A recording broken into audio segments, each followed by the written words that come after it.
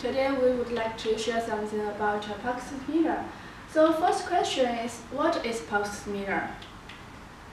Pulse meter is a device which is used to provide non-invasive monitor for oxygen situation. The device is usually placed on the fingertip or earlobe, maybe across the foot for babies. We can see the, emit, the oximeter emits two light with different uh, wavelengths that pass through the body to a photo detector. These two light beams in the small vessel or capillaries, which consist of circulating blood. These light beams are responsible for determination of oxygen situation in the blood along with the current pulse rate in the person's body. Why we use pulse meter? Pulse meter is used to monitor people if they are in danger of hypoxia or hypoxemia. Hypoxia is a state in which the supply of oxygen is insufficient for normal functions. Hypoxemia is a state there is a low arterial oxygen supply. Hypoxia or hypoxemia acute and severe symptoms include shortness of breath, rapid breathing, fast heart rate, inability to communicate, confusion, coma or death.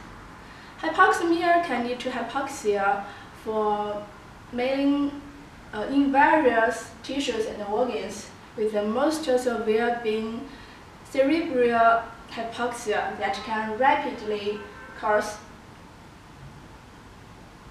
brain damage or death. So it is such important to keep an eye on your oxygen situation with pulse meters.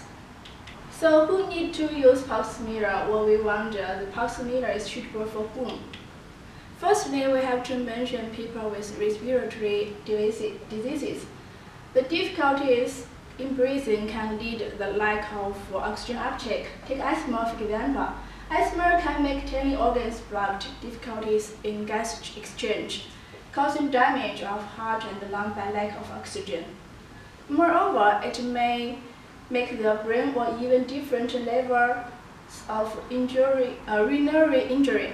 Therefore, pulse meter can be used to, to detect the blood oxygen situation, which will greatly reduce the incidence of respiratory tract People with vascular disease are also one of main group to be monitored oxygen situation. As the vascular cavity has lipid deposition, results in the unsmooth blood and poor blood supply. If patients have long-term hypoxia, the heart, the brain, and other oxygen consumer organs function will gradually decline.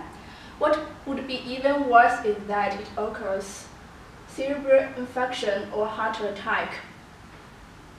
Patients would be at risk of sudden death if have not taken first aid.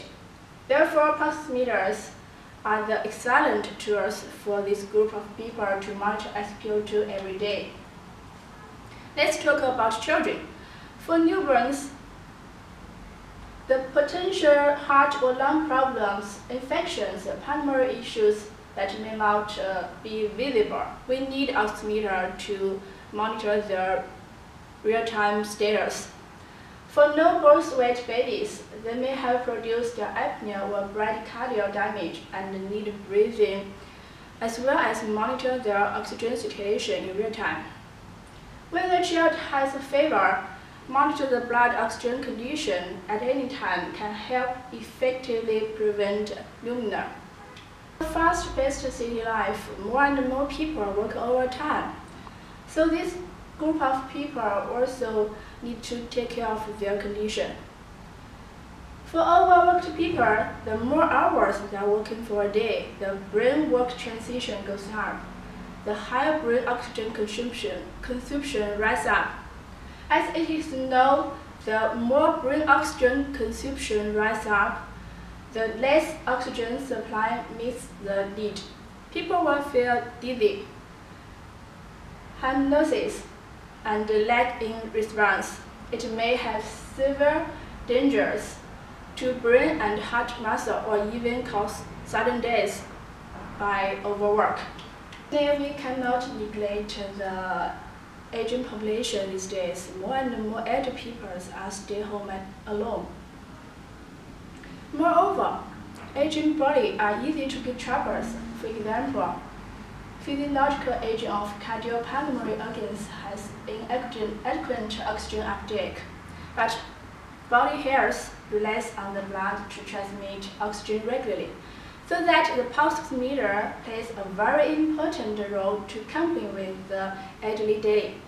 Once the blood oxygen level is lower than allowed, the corresponding measurement should be acted as soon as possible. Nowadays, outdoor enthusiasts increase fast and some sports environment are different from ordinary conditions. For example, sports like uh, mountain climbing. Mountain climbs in high altitude uh, have to face with oxygen level changes, which directly impact their oxygen uptake.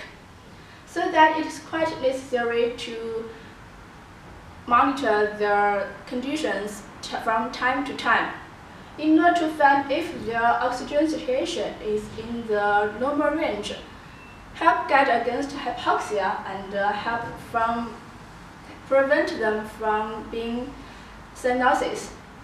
Meanwhile, blood oxygen level of athletes monitoring in real time helps understand the circulation of after a large amount of exercises to guide the development of physical activities of the athletes. Up to now, we have shared with you all what is pulse oximeter, the purpose of using pulse oximeter, and who should use pulse oximeter.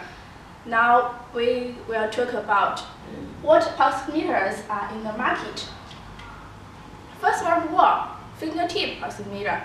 A fingertip pulse oximeter is equipped with technology to rapidly uh, monitor the changes of your oxygen situation.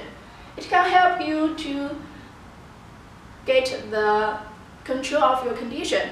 A fingertip pulse oximeter is easy to use. Just clip it on your fingers, then you can get a reading for your SpO2 and pulse rate. The second type is the handheld pulse oximeter. It is indicated to provide the monitoring for your SpO2 and pulse rate with audible and visible alarms for the adult and the pediatric patients in hospitals and home. There are another kinds of pulse meters, including wrist pulse meter, which can help providing screening of pulsars vital sense monitor to provide human vital sense readings include SpO2 and pulse rate. So that is the information for today. Uh, other information will come in soon. Let's have a preview, such as how does pulse meter work? How to choose a suitable pulse meter? What we should consider if the pulse meter is good or not? Thanks for watching. If you want to learn more, please email us.